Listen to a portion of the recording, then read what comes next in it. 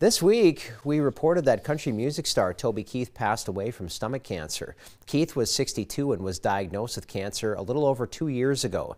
Bismarck Cancer Center doctors tell us the disease can be hard to spot because the symptoms include things like indigestion, trouble swallowing, or feeling full. Men are more likely to get stomach cancer than women.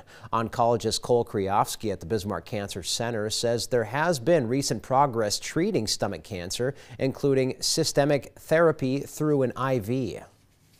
There is no screening program in place. Uh, some people who have problems with stomach acid for many years of their life, uh, who are seeing a physician or a gastroenterologist regularly, now they might be they might be undergoing screening endoscopy or what's called an EGD um, to try to evaluate for any early cancer detection.